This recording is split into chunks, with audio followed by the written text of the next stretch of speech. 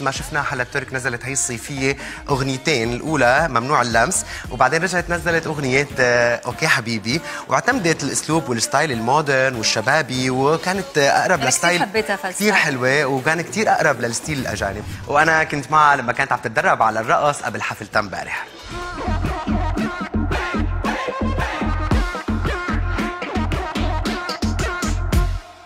هذا الحلو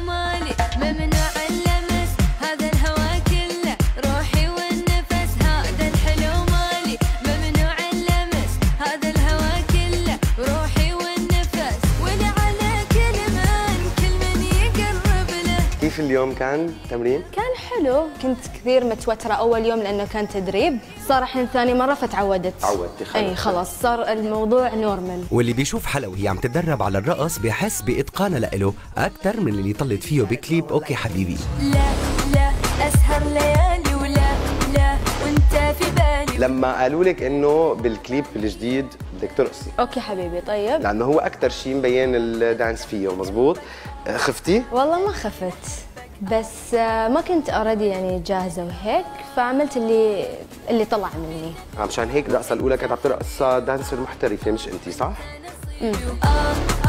ناري ناري منك اليوم شفتك عم ترقصي على الغنية نفسها بس بحركات أكثر من الكليب، شو اللي فرق؟ ال dances اللي هلا عم بتدرب عليهم are more easy.